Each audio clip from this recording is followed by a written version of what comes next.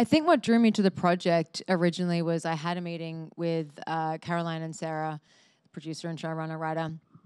And the way that they kind of discussed it with me as a gay women, and, and also Greg Berlanti's involved, and he's a gay man, um, and there's a lot of there's a lot of gay in the show already, right? And then they were kind of talking about the fact of of normalizing it, like it not being just like this is a gay story for gay people and this is going to have like all the it's going to touch on all the gay things um, or the lesbian things.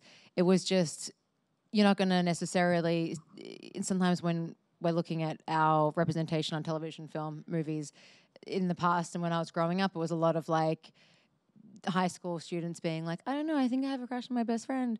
And then they would kiss, and one would be like, oh, it's not really for me. And then the other one would be like, oh, uh-huh. and it like just kind of like hasn't. I liked it, so. yeah, you didn't really, and you'd always have to ha- like get the beginning, middle, and end and everything of a, of a relationship. Whereas you don't really have to do that with like heterosexual relationships. They just exist on television. You don't have to like know the origin of when they were born and how. And so with this, it was a lot about like, we're talking about relationships she's had you know, relationship with Sophie Moore, who she was in the military with, and, and the don't ask, don't tell aspects of that and what that put their relationship through. But we never like tell more than just it, it as any other normal couple. It's not, it's just that they're two women. So, like, I guess, yeah, if you're not used to or you haven't been exposed to seeing two women in love, it's going to look different to a male and a female in love. But if, if that's your life and you have gay friends and family and it, it's not going to look any different. It's just going to it's going to feel normalized. And it doesn't look any different. I mean, the chemistry between you two. I mean, I think it looks kind of cuter, but I was going to say the chemistry is really beautiful, and I love that Sophie, in her own right, is very capable.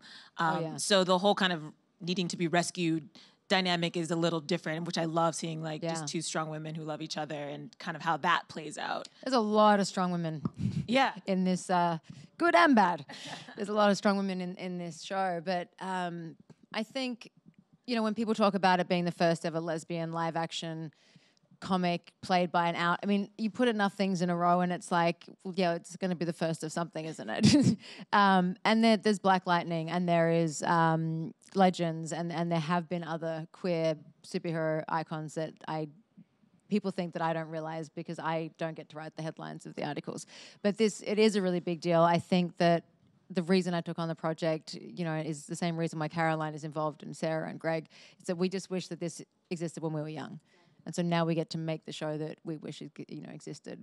Except I get to be in it, and it's cool. And I'm I'm on a bus and on buildings. It's very strange.